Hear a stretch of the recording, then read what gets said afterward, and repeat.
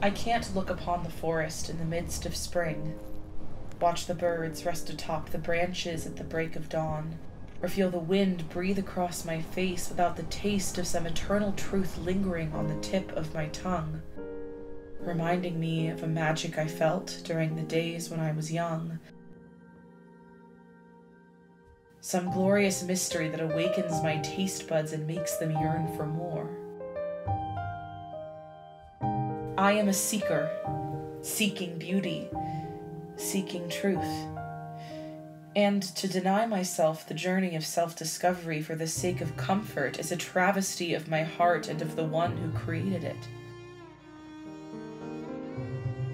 It's never easy to abandon the crowds, leave the pack, and become a lone wolf.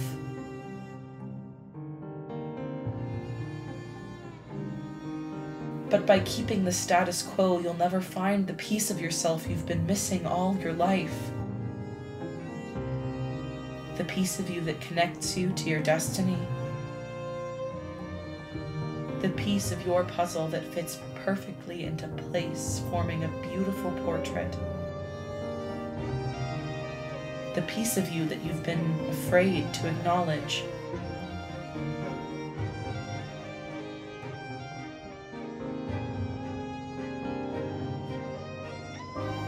Piece of you that makes you come alive.